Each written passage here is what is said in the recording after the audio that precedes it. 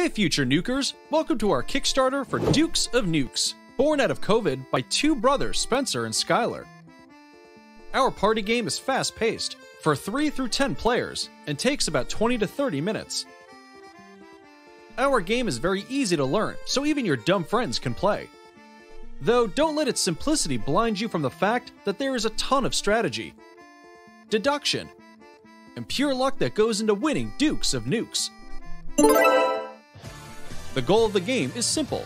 There is a single card called the Nuke Codes. All you have to do is be in possession of this card when the game abruptly ends. Easy, right? Wrong. The game will start with everyone being dealt a hand, and one person being secretly given the Nuke Codes.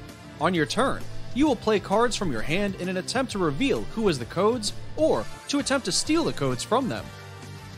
There are 18 different types of cards to help you do so. You end your turn by drawing one card from the deck. There are cards that will let you steal a card from a player. Trade cards. Reveal their hands. Straight up give you the codes, and more. Check out our full list of cards.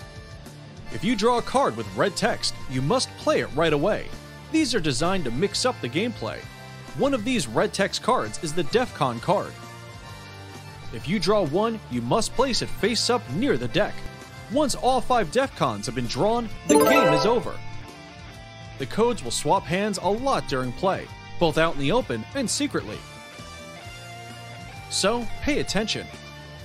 Follow the movements. Use your deduction skills. And make sure you have those codes by the time the fifth DEFCON card is drawn. So, if this party game sounds fun to you, check out our rewards and help get this game made.